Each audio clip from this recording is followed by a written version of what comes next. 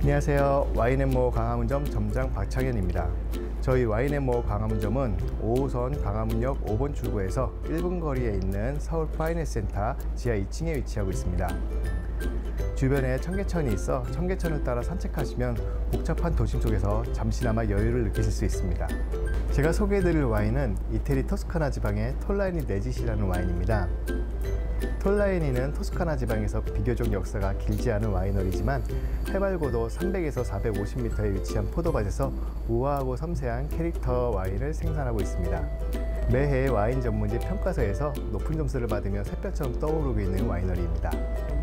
톨라이니 Legit의 라벨은 미국의 재즈 작곡가이자 피아니스트로 미국 음악 사상 가장 위대한 인물 중 한 명으로 꼽히는 셀로니어스 스피어 몽크로 그를 헌정하는 의미로 이 와인을 만들었습니다.